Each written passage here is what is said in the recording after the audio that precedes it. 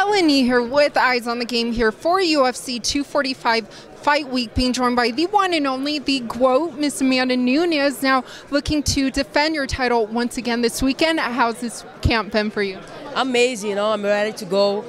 Everything's on point. I'm sharp, I'm ready, and I'm excited for Saturday. Yes, well, speaking of so much excitement, yesterday the UFC released the photo, the iconic photo of you with a bunch of goats. What was that photo shoot like for you? It was cool. Uh, to to get all the goats together was a mission, but uh, we have a good time in the farm. You know, I'm a farmer girl.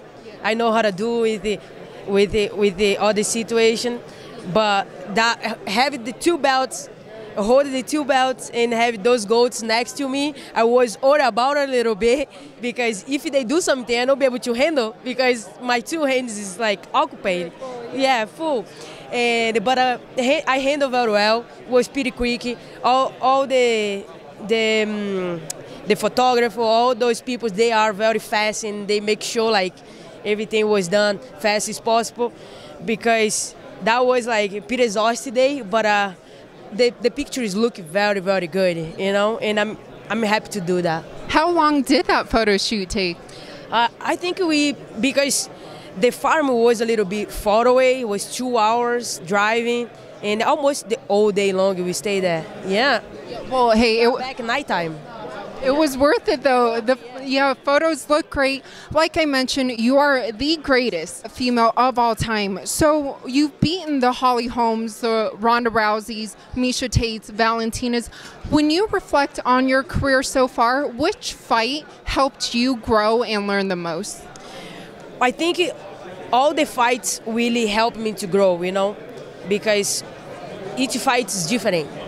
Eh, I feel like eh, I take my lost as a, a huge experience and make me evolve a lot. You know, after my last loss, uh, definitely I don't want to be that spar anymore. Never, I will. And I have to learn from that. And I, I learn it, and now I'm here, you know, and uh, I feel like all the fights since my last loss until today, my last one, was a was a good experience. Learn a lot of things. Well, speaking of experiences, I mean, for you though, personally, what personal goals do you have? Honestly, like, I, this is my job. You know, I have, I'm, I'm, I'm the champ in two division.